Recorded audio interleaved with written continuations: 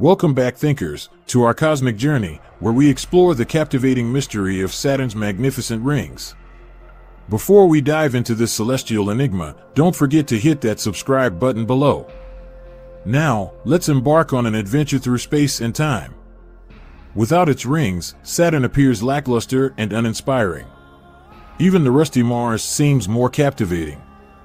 But fear not, dear thinkers, for the cosmos had a grand plan to upgrade Earth's neighborhood and gift Saturn its resplendent bangles. The formation of Saturn's rings has puzzled scientists for decades.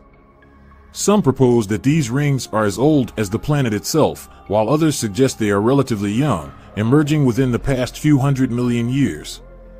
Both theories have their strengths and weaknesses, but what they have in common is violence. A cataclysmic event that shattered an icy object, be it a comet or a moon, and scattered countless icy shards into orbit around Saturn. Picture this countless icy fragments, some larger than houses, others infinitesimally small, composed mostly of pristine water ice, and one band slightly darker than the rest. Over time, these shattered remnants organized themselves into the breathtaking ring system we behold today. Stretching over 170,000 miles across, yet only about 30 feet thick.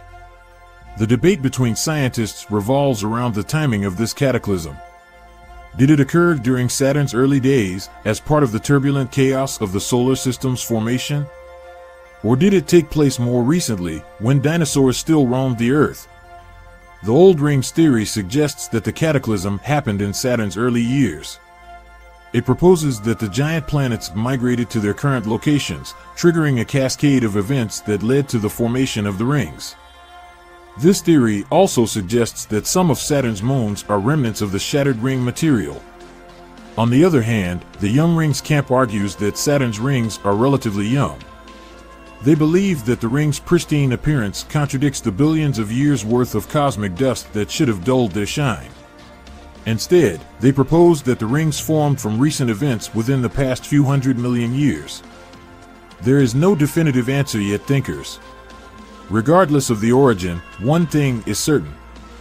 Saturn's rings challenge our notions of cosmic permanence. They remind us that even the familiar sights in our nighttime sky can change and surprise us. And as we ponder this celestial mystery, let's appreciate our own cosmic luck. Life on Earth evolved at a time when we can witness the majestic splendor of Saturn's rings with our telescopes. Thank you for joining us on this journey through the captivating story of how Saturn got its rings. If you enjoyed this cosmic exploration, don't forget to hit that subscribe button. Until next time, keep your eyes on the wonders of the universe.